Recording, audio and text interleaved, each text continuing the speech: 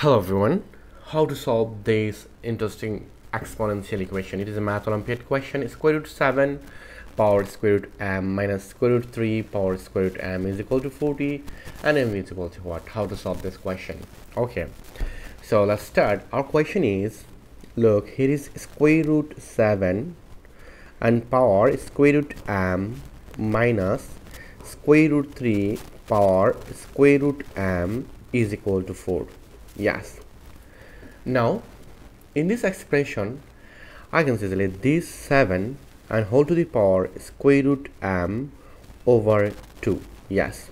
Because of that square root 7 it will be 7 to the power 1 over 2 and 1 over 2 times square root m it will be square root m over 2 minus and again here is same case it will be 3 to the power square root m over 2 is equal to 40 yes now at this moment let here is let square root m over 2 it will be x. Well let this is equal to x yes.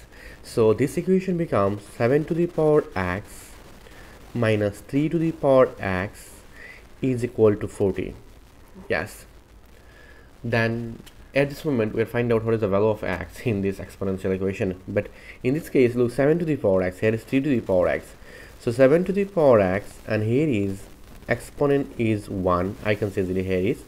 And 3 to the power x and here is exponent also 1 is equal to 40 yes. Then in this expression I can say uh, this equation becomes 7 to the power x and whole to the power 2 over 2 look 2 divide 2 it will be 1 minus and 3 to the power x and whole to the power 2 over 2 2 divide 2 it will be 1 is equal to 40 yes I just use here is power 2 over 2 then according to exponential rules I can say this 7 to the power x here is it will be 7 to the power x over 2 I just move on this to in this side and whole to the power this 2 this time this it will be this this yes. Then here is minus 3 to the power x over 2 and whole to the power 2 is equal to 40 yes. Now at this moment I can easily here is 7 to the power x over 2 let here is 7 to the power x over 2 it will be p. And 3 to the power x over 2 it will be q. We'll add this is p this is q. So I can say that this equation becomes p square minus q square is equal to 40 because of that we'll add this is equal to p this is equal to q and in this expression we know that the rows this formula s square minus b square it will be a plus b times a minus b. According to this case i can say it will be p plus q times p minus q is equal to 40 yes. Then at this moment if i find out the factor here is 40 so it will be p plus q p minus q I can say this 40 it will be 40 times 1 and it will be 10 times 4 it will be 20 times 2 and it will be 8 times 5 you know that 8 times 5 it is also 40 and here is p plus q greater than p minus q. And p and q is integer. Okay then at this moment I can say that p plus q is equal to 40 and here is 1 so we'll find out here is 4 factor but in this case look this is not possible. This is not possible. This is not possible. This is possible uh, 10 times 4 so I can say that here is p plus q. Uh, we'll take here is 10 times 4 here is p plus q is equal to 10 and in this case I can say here is p minus q is equal to 4 so at this moment look here is p and q is a positive integer okay? So at this moment uh, we'll find out here is first equation and this is our second equation.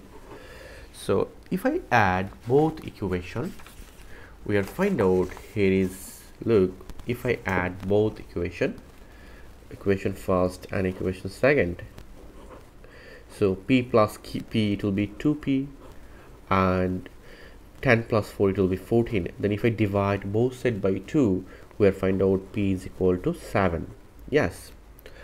And at this moment look p is equal to 7 and at this moment if I subtract both equation I mean this equation minus this equation p minus p will be 0 and q minus q it will be 2q yes is equal to 10 minus 4 it will be 6 then if I divide both sides by 2 we'll find out q is equal to 3 yes.